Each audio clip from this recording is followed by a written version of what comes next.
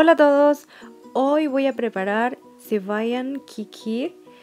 Es un dulce, se conoce popularmente como kir a los dulces que se preparan así hervidos con leche. Puede ser con arroz, con fideos, con frutos secos. Se utilizan diferentes tipos de ingredientes.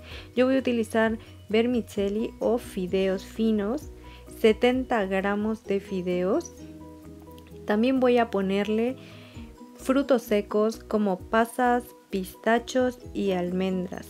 También voy a utilizar para aromatizar cardamomo verde y azafrán. Dos tazas de leche y una cucharada de ghee. También azúcar. El azúcar es al gusto. Si quieren más azúcar, yo estoy utilizando tres cucharadas. Pero si quieren más, pónganle más. Bien, lo primero que vamos a hacer es poner el ghee en la olla. Vamos a ponerle una cucharadita de ghee, no mucho. Y si no tienen ghee pueden utilizar también mantequilla de leche. Bueno, el ghee es la mantequilla de leche, pero la mantequilla que venden en los supermercados pueden utilizar esas también.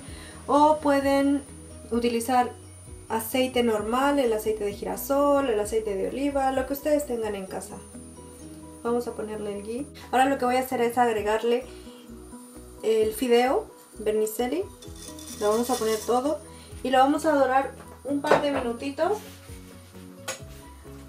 Así hasta que coja un colorcito un poco más dorado. A fuego bajo porque esto se quema. Ya está cambiando de color. Lo que voy a hacer es ponerle el ilaichi pero vamos a romper el elaichi, así un poquito con los dientes, bueno, como se pueda. Y vamos a agregar estas semillitas que vienen dentro. Eso lo vamos a poner. Y las semillitas las ponemos. Todas las semillas. Yo le estoy poniendo tres. Esto es para que aromatice un poco el dulce. Y también le vamos a agregar los frutos secos que tenemos aquí, menos el azafrán, los frutos secos. Tenemos almendras picadas, un par de almendras enteras, pistachos y pasas. Vamos a agregarle todo muy rápido porque si no esto se nos va a quemar. Y vamos a dorarlos un poquito junto con el fideo. Ahora, ya tenemos esto que se ha dorado un poquito. Le vamos a agregar la leche las dos tazas de leche.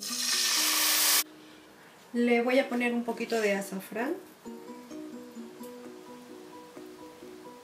Y las tres cucharadas de azúcar. Yo estoy utilizando esta cantidad, pero si les gusta más dulce le pueden añadir más azúcar.